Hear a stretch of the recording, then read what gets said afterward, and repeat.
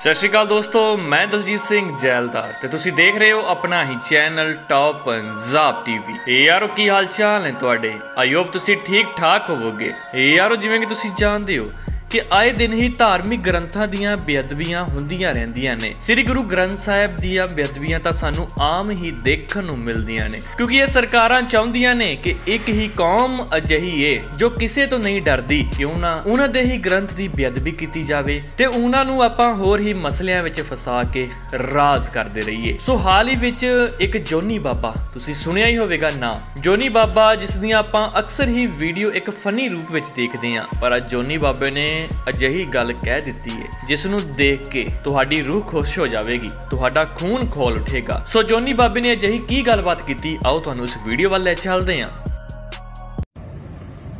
ਵਾਹਿਗੁਰੂ ਜੀ ਕਾ ਖਾਲਸਾ, ਵਾਹਿਗੁਰੂ ਜੀ ਕੀ ਫਤਿਹ। ਪਿਆਰੀ ਸਾਧ ਸੰਗਤ ਜੀ, ਆਪ ਜੀ ਨੂੰ ਆਪ ਜੀ ਦੇ ਚਰਨਾਂ 'ਚ ਇਹ ਸਨਿਮਰ ਬੇਨਤੀ ਆ ਕਿ ਬਹੁਤ ਭਰੇ ਹੋਏ ਮਨ ਨਾਲ, ਬੜਾ ਦੁਖੀ ਹੋਇਆ ਦਾਸ ਅੱਜ, ਕਿਉਂਕਿ ਅੱਤ ਦਾ ਇੱਕ ਦਿਨ ਅੰਤ ਹੁੰਦਾ ਹੈ।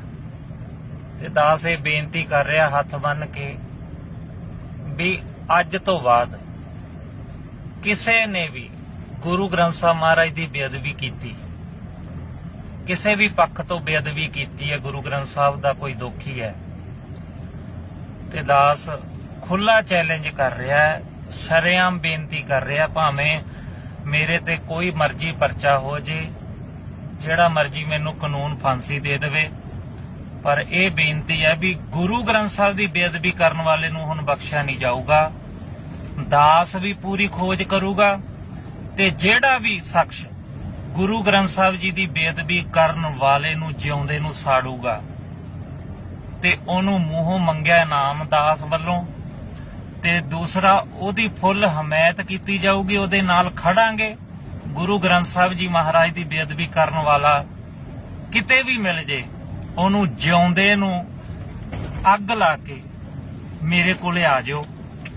ਦਾਸ ਉਹਦੇ ਨਾਲ ਖੜੂਗਾ, ਉਹਦਾ ਪਰਚਾ ਮੈਂ ਆਪਣੇ ਤੇ ਕਰਵਾਉਂਗਾ, ਜਿਹੜਾ ਉਹ ਤੇ ਕੇਸ ਬਣੂਗਾ ਮੈਂ ਆਪਦੇ ਤੇ ਚੱਲੂਗਾ, ਕਿਉਂਕਿ ਅਸੀਂ ਕਿਸੇ ਦੇ ਗ੍ਰੰਥ ਦੀ ਬੇਅਦਬੀ ਕਰਦੇ ਨਹੀਂ, ਕਿਸੇ ਨੂੰ ਮਾੜਾ ਕਹਿੰਦੇ ਨਹੀਂ, ਪਰ ਜੇ ਕੋਈ ਗੁਰੂ ਗ੍ਰੰਥ ਸਾਹਿਬ ਦੀ ਬੇਅਦਬੀ ਕਰੂਗਾ ਉਹਨੂੰ ਹੁਣ ਬਖਸ਼ਿਆ ਨਹੀਂ ਜਾਊਗਾ। ਹੁਣ ਬਹੁਤ ਹੋ ਗਿਆ। ਸਿੱਖਾਂ ਨੇ ਬਹੁਤ ਝੱਲ ਲਿਆ। ਬਸ ਇਸ ਵੀਡੀਓ ਨੂੰ ਗਾਂ ਦੀ ਗਾਂ ਸ਼ੇਅਰ ਕਰ ਦਿਓ ਵੀ ਦੋਖੀਆਂ ਤੱਕ ਵੀ ਇਹ ਵੀਡੀਓ ਪਹੁੰਚ ਜੇ ਪਿਆਰਿਓ। ਕਿ ਅੱਜ ਤੋਂ ਬਾਅਦ ਗੁਰੂ ਗ੍ਰੰਥ ਸਾਹਿਬ ਦੀ ਬੇਅਦਬੀ ਕਰਨ ਵਾਲੇ ਨੂੰ ਬਖਸ਼ਿਆ ਨਹੀਂ ਜਾਊਗਾ। ਜੇ ਸਾਡੇ ਪਿਓ ਦੀ ਦਾੜੀ ਨੂੰ ਕੋਈ ਹੱਥ ਪਾਊਗਾ, ਪੱਗ ਨੂੰ ਹੱਥ ਪਾਊਗਾ ਔਨ ਦੀ ਸਪੌਟ ਉਹਦਾ ਫੈਸਲਾ ਖਾਲਸਾ ਪੰਥ ਕਰੂਗਾ, ਸਿੱਖ ਕਰਨਗੇ। ਉਹਦਾ ਸਿਰ ਲਾਇਆ ਜਾਊਗਾ ਮੱਸੇ ਰੰਗੜ ਵਾਂਗੂ, ਜਾਂ ਉਹਨੂੰ ਜਿਉਂਦੇ ਨੂੰ ਅੱਗ ਲਾਈ ਜਾਊਗੀ।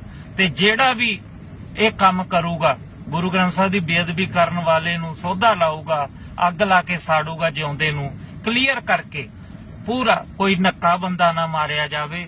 ਕਲੀਅਰ ਹੋਵੇ ਵੀ ਇਸ ਬੰਦੇ ਨੇ ਬੇਅਦਬੀ ਕੀਤੀ ਹੈ ਜਾਂ ਇਸ ਬੁੜੀ ਨੇ ਕੀਤੀ ਆ ਬਸ ਉਹਨੂੰ ਜਿਉਂਦੇ ਨੂੰ ਅੱਗ ਲਾ ਦਿਓ, ਤੇ ਦਾਸ ਉਹ ਕੇਸ ਆਪਣੇ ਤੇ ਪਾਉਣੂਗਾ ਤੇ ਆਪ ਚੱਲੂਗਾ ਤਰੀਕਾਂ ਤੇ ਆਪ ਸਾਰਾ ਕੁਝ ਬਰਦਾਸ਼ਤ ਕਰੂਗਾ, ਫਾਂਸੀ ਵੀ ਚੜੂਗਾ। ਦਾਸ ਇਸ ਦੀ ਖਾਤਰ ਇਹ ਬੇਨਤੀ ਆ। ਮੈਂ ਆਪਣੇ ਪੂਰੇ ਹੋਸ਼ ਹਵਾਸ ਵਿੱਚ ਇਹ ਬੇਨਤੀ ਕਰ ਰਿਹਾ। ਗੁਰੂ ਗ੍ਰੰਥ ਸਾਹਿਬ ਦੀ ਬੇਅਦਬੀ ਹੁਣ ਨਹੀਂ ਝੱਲੀ ਜਾਊਗੀ। ਹਾਂਜੀ ਮਿੱਤਰੋ ਕਮੈਂਟ ਕਰਕੇ ਜਰੂਰ ਦੱਸਿਓ ਕਿ ਜੋਨੀ ਬਾਬੇ ਦੀ ਇਸ ਗੱਲਬਾਤ ਬਾਰੇ ਤੁਹਾਡੇ ਕੀ ਵਿਚਾਰ ਨੇ। ਤੇ ਇਸ ਵੀਡੀਓ ਨੂੰ ਵੱਧ ਤੋਂ ਵੱਧ ਲਾਈਕ ਤੇ ਵੱਧ ਤੋਂ ਵੱਧ ਸ਼ੇਅਰ ਜਰੂਰ ਕਰ ਦਿਓ। ਸੋ ਮਿਲਦੇ ਹਾਂ ਕਿਸੇ ਨਵੀਂ ਅਪਡੇਟ ਨਾਲ। ਹੁਣ ਸਾਨੂੰ ਦਿਓ ਇਜਾਜ਼ਤ ਤੇ ਤੁਸੀਂ ਦੇਖਦੇ ਰਹੋ ਆਪਣਾ ਹੀ ਚੈਨਲ ਟੌਪ ਪੰਜਾਬ ਟੀਵੀ